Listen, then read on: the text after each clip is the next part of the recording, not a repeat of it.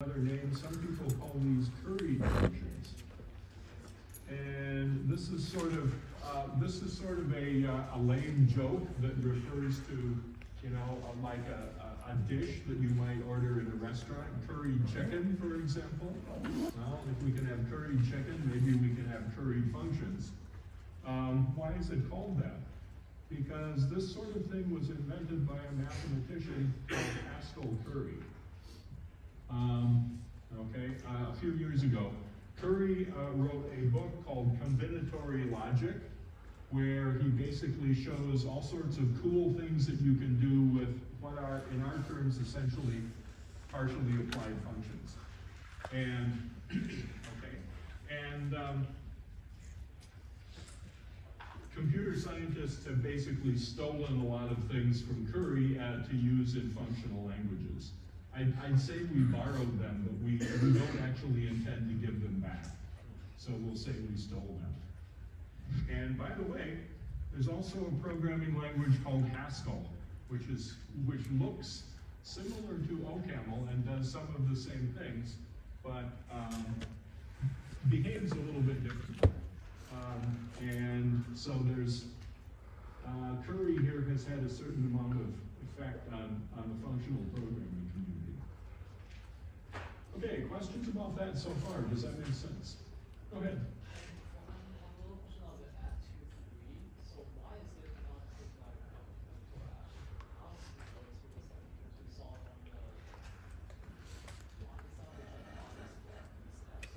Uh-huh. So OCaml is actually doing stuff, stuff here that is not, that it is not telling you.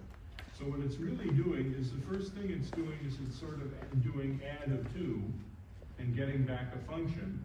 And then it's applying that function to three, and then it's getting back an integer value. Okay? Now, in fact, it's actually doing that more efficiently than you might think. I mean, there, it, it isn't actually creating an intermediate function and then throwing it away again. But you can, you can think of it as if it's doing, you can think of it as if it's doing that. So OCaml is really doing some stuff here behind your back that it's not telling you. Uh, did that answer your question? Uh, other questions? Okay, now, uh, this is actually occasionally useful. I personally don't tend to use it very much in my own programs. Um, and so that's, that's the good news, that sometimes what happens is that you can define a function that, uh, you know, that's like another function but just has some arguments missing. That's the good news. The bad news is that OCaml uses the same notation for what we might call full application. That's with all the arguments. That it does for partial application.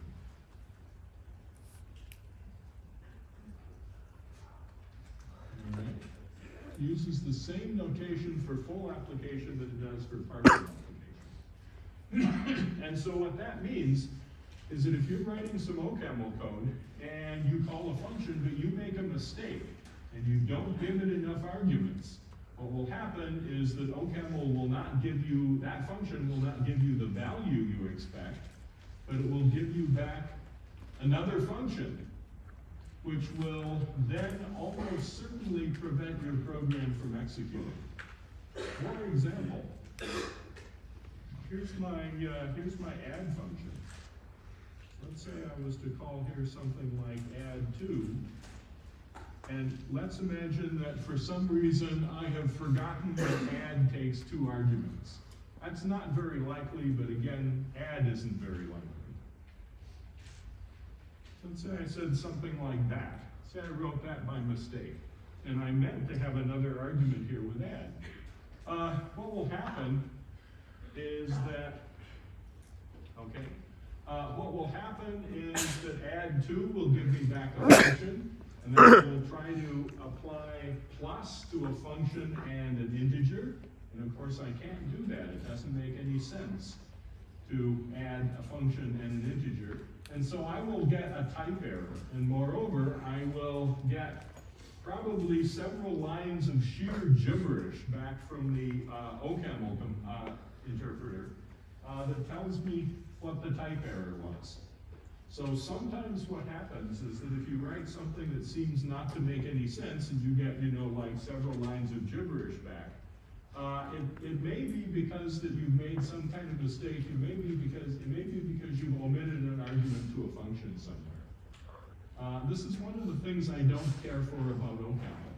If I were designing this language, I think I might maybe want to use a different notation for partial application than I did for full application. I don't know if I, I don't know what that notation would be. Okay? Go ahead.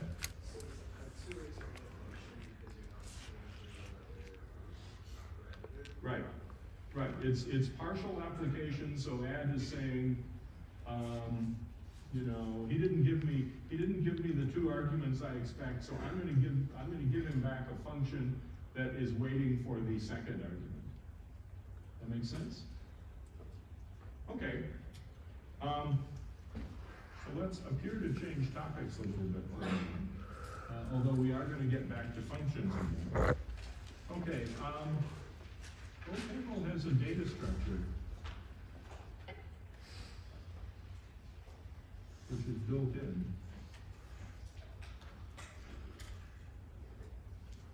Uh, let's call it a tuple. Okay? And uh, tuples are, uh, you may remember that Python has something called a tuple also. You shouldn't confuse the two. OCaml tuples and Python tuples work in different ways. And, okay, and they're created with commas.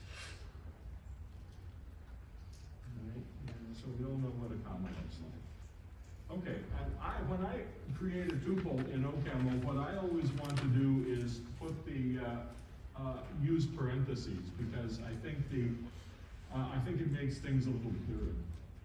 So let's imagine that the e's here are expressions. So I could write something like this.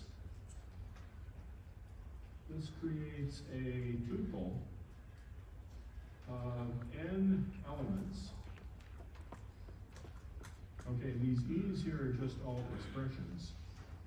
They can be any kind of Python, of uh, uh OCaml expressions.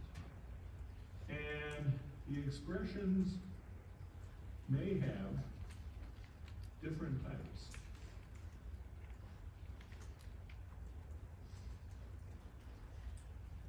Okay, um, so for example, I could write something like one comma two, and that would give me a tuple with two components, one and two.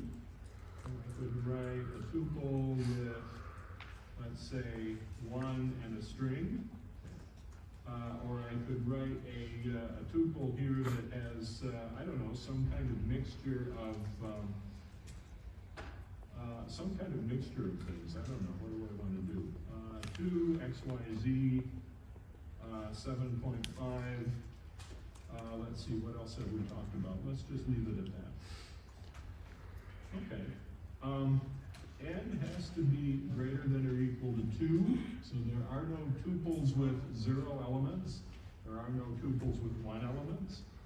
And tuples are also immutable. Uh, so that once you create a tuple, you can't you can't change uh, you can't change its uh, what what's in its elements anymore. Okay, um, so that's sort of a simple, uh, we've seen how lists work. Uh, so tuples are sort of another uh, kind of data structure built into OCaml that lets you um, lets you create objects and, and, manipulate them in various ways. Okay, does that make sense? Questions about that so of? Okay, now later on in the course we are going to see some ways to manipulate um, tuples, to break them into pieces. Uh, that uses uh, a facility that's built into OCaml that's called pattern matching. We're not quite there yet. So there are two functions uh, that are into OCaml. And they work with.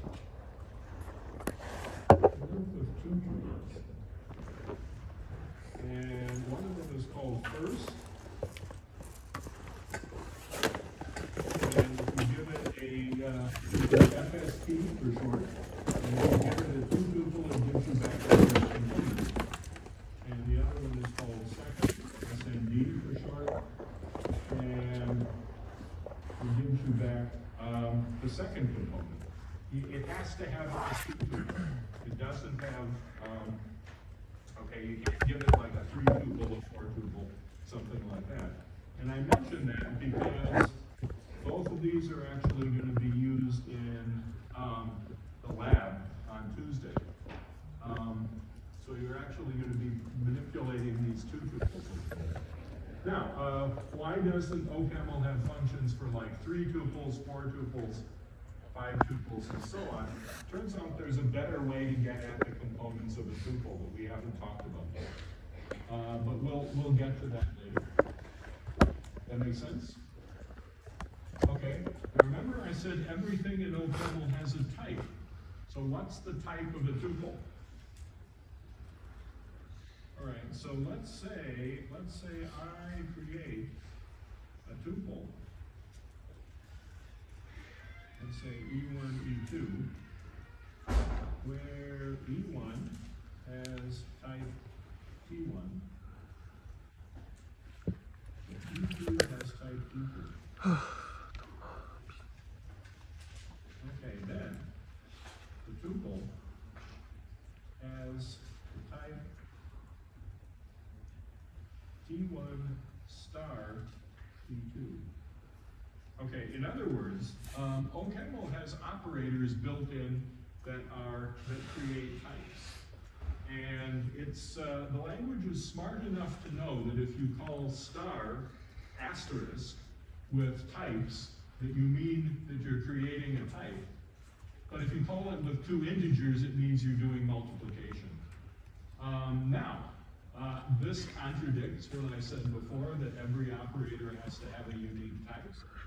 Um, not my problem, I didn't invent this language. Uh, take it, take it up with the, if that bothers you, take it up with the designers of OCaml. Uh, take my word for it, it can tell the difference. Now, um, so, if, for example, here I am in OCaml, OCaml's printed this thing out, uh, for me to, um, wants me to type an expression, and I type something like one, comma, hello. What does OCaml do? Comes back and it says, there's no value here. It's, or there's no name there. Its type is int star string. And its value is one comma hello. Okay, so this is the star operator, the star here is giving us, giving us the type of, the type of the two tuples. Now, why is it a star? Well, okay, uh, remember when you took a, um, discrete math course? And, um, you looked at set theory? I don't know, maybe, um, uh, I hope everybody, uh, at least, if you haven't taken a discrete math course, I hope at least you know about this. And there's something called a cross product. Uh, which in set theory is written as a, uh, like a, a multiplication cross, it's not like a, an X. Okay, well, what happens is that in set theory, if I've got two sets, if I've got something like AB, cross C, D, like so. Okay, what do I get? I get a set of two tuples. So I get AB, AC, Hindi pa maayos. Tingnan nyo. AD, E, EB, EC, ED. Okay, so in other words, uh, the cross product operator is, in set theory, is just producing all possible, in this case, two tuples of the elements of two sets. Okay, does that sound familiar to people? All right, well, what happens is that one way to think about types is we can think of types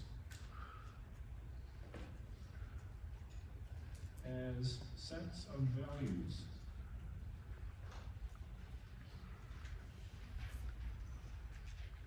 We can think of a type as a set of possible values. So, you know, we can think of the type Boolean as a set containing false and true. Because there's two possible values for a Boolean uh, object. Okay, uh, we can think of the integer type as a set of possible integers, which in, in, in a computer is a finite set. Mathematically, it's an infinite set. Um, okay, we can think of the type string as a set of all possible strings, up to, again, up to a certain size. And, all right, so if we were to take one of those types, I mean, let's say I was to take the type of, um, the, the set representing the type integer and cross it with, let's say, the same set again, same, um, the set of all integers, I would get a set back of all possible two tuples uh, whose components are integers. That is the same thing that's happening here with OCaml. The star operator here is sort of like a cross product. All right, and so we can think of, we can think of uh, a type, we can think of types as being sets of possible values, and we can think of that cross product as being um, a, uh, something that is making two tuples for us. That's the reason it's called what it is. All right? That makes sense so far? Okay, um, I mentioned two tuples just because you're gonna be using them in the lab. Um, what you're gonna do is actually, um, write some functions that simulate, uh, computation with fractions whose numerators and denominators are integers. Those are gonna be represented as two tuples. Okay, so let's get back to functions here for a minute. Well, first off, are there any questions about that so far? Does that make sense? Good. Okay, let's get back to functions here for a second. Okay, um, we can have some functions. Some functions work Okay,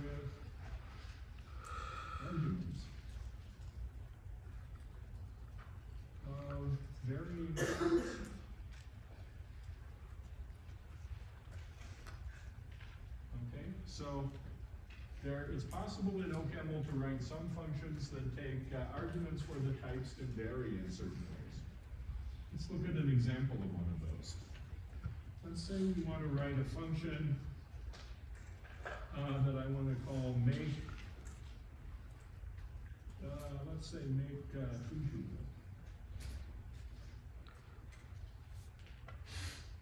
And it has two parameters, A and B.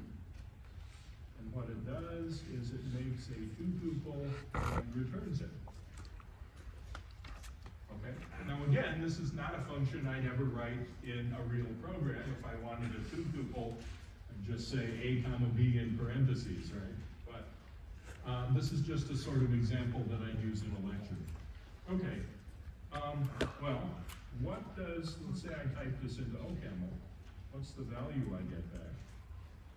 So it says val. And the val of the name of my function, make two tuple, goes like so. And there's a colon here, and so OCaml is gonna come up with a type for this function. Okay, now, what is the type of this function? Well, look, I can have a two tuple, or for that matter, a three tuple or a four tuple. I can have a two tuple with objects of any type in it. So I can make a two tuple with two integers, or an integer and a string, or a string and an integer, or a boolean and a string, whatever I want. If this function really makes a two tuple, it should be able to take arguments of any type. So how can we specify a type of a function that takes arguments of any type? What OCaml does is it writes this, which I will explain for you to you in a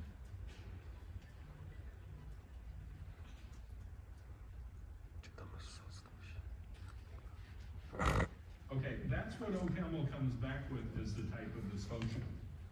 And those little, those little ticks in front of A and B, um, okay?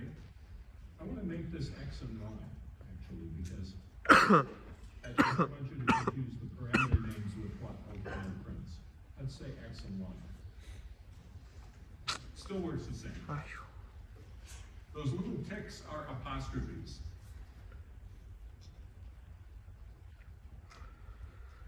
Okay, so what's happening here? Well, we can immediately see this is a function that takes two arguments, right? Because it's, uh, it's a function that takes one argument and then it returns a, it returns a function that wants the second argument. Finally, it returns this value at the end. What happens is that apostrophe A and apostrophe B stand for arbitrary types. Uh, and they are, that are known only when make two tuple is applied. Okay, so, uh, I wanna call these, uh, I wanna call these things type parameters. Don't know if anybody else calls them that. And their values get filled in, they're, they're kind of like mathematical variables.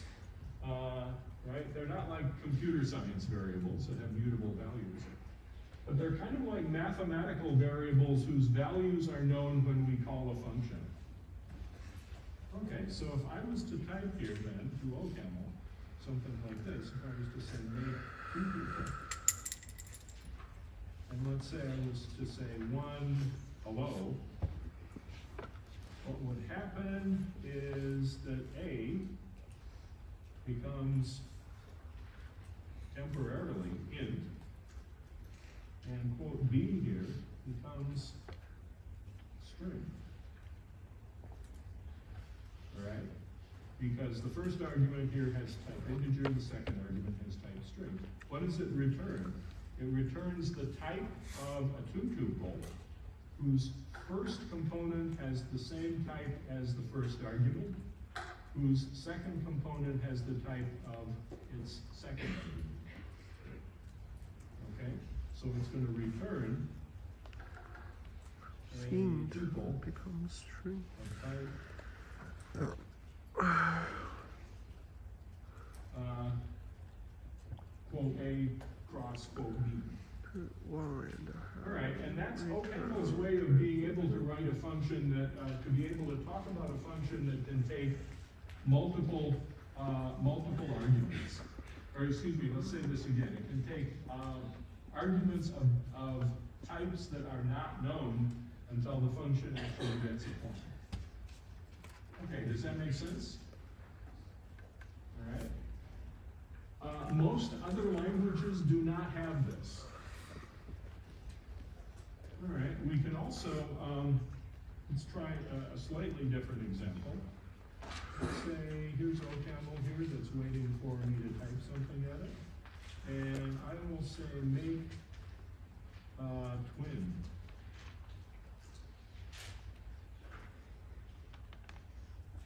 And it's gonna return a two tuple here of x, x comma x.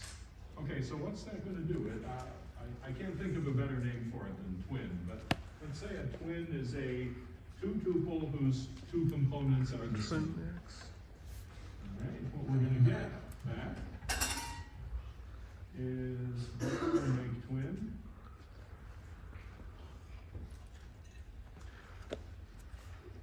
Okay, it takes a, um, object, uh, an, an argument of a type we don't know, and it's gonna come back with quote A cross quote A. In other words, we're gonna get back a tuple whose both, both of whose components have the same type, both of whose components have the same type as the argument. Okay, and so OCaml remembers these, um, type definitions for functions, and it can use those to, when you're writing code, make sure that you're not making mistakes, that you don't, you don't, uh, uh, you don't give a, uh, a function an argument of a type that it doesn't expect. Okay, does that make sense? Questions about that? Okay, it turns out this is a little more complicated, it's become slightly more complicated in situations where we have, um, in situations where we have functions that return other functions. Uh, but we're not gonna deal with that quite yet. We'll deal with it a little later. Okay, uh, so we've seen some stuff about how function types work, seen some stuff about how tuples work. Um, and there's a bunch of other primitive types that are built into OCaml, which I just, um, which are the same sort of primitive types that we find in most other programming languages. I just wanna walk through those in a hurry, um, in about the last five minutes or so. Um, the first one I wanna talk to, talk about is called unit. Um, and the type unit has only one possible value. And that is written as a pair of parentheses, a pair of matched parentheses. Okay? And unit is a, uh, is this unit object, uh, a value of type unit. That's what a function returns when it can't figure out what else, when, when there's no really meaningful value, when there's, uh, there's nothing else useful that it could possibly return. So, you know, I mean, let's say we had a function that computed something, but then couldn't return a useful value. I don't know what it's doing with what, whatever it computes. Maybe it prints it or something. Okay, then it would return the unit object, two parentheses. Why does it look like two parentheses? Well, if we have a function that takes no arguments, so a function with zero arguments uses the unit object instead of parameters. So for example, uh, let's imagine, uh, here's OCaml again, it says type something at me. I want to define a function called five that takes no arguments, and it returns the value five. Why would I want a function like that? Well, I don't know, maybe I actually, uh, maybe I actually would, I don't know. But for the time being, let's just assume this is something I might use in a lecture. Okay? Um, this is a function that takes no arguments. And returns five. So it's our five function. And what happens is that its type is, uh, OCaml is gonna come back and print something like val five is unit, arrow, int. And it says fun here because it can't actually print a value for function, for functions. Uh, some of the examples that I've done before, I've omitted the equal fun at the end, uh, just because it's kind of boring. But here I'm, here I'm actually putting it in. Okay, so this unit basically says that it, function takes no arguments. Remember, OCaml thinks that all functions take, all functions take one argument. So we have to have something there. Now, you might ask, well, um, unit object, that's not really a parameter, it's a value. Why can we put a value, uh, as the parameter list of a function? Uh, and it turns out we actually can, for reasons that we haven't talked about yet. We will find out about how that works this week. Okay? By the way, how do I call this? How do I call this function? If I just said five, what do I get? I get back the function five. So it's going to just be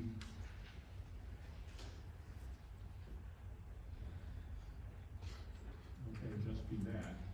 If I actually want to call it, I have to say five parentheses. And then I get back val in equals five. Okay? And now we know why the unit object, why the notation for the unit object is two parentheses like this. Is because the designers of OCaml wanted to suggest uh, an empty argument list, like you'd see in other languages. Mean, if you were writing in Java or something and you wanted to call a method with no arguments, you'd put, you'd use two parentheses.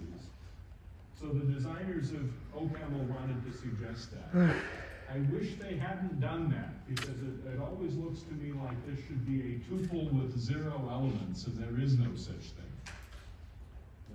There we go. Uh, questions about that? Does that make sense? Okay, and we got just about a minute left, so, um, minute or two left. So, uh, the other, uh, at some point I wanna list all the primitive types, just briefly. But there's also a type called bool, short for boolean. And it has two possible values, which are written as true and false, just like you'd expect. Okay? Um, and let's see, if you look at, uh, I, don't have time, but if you look at, uh,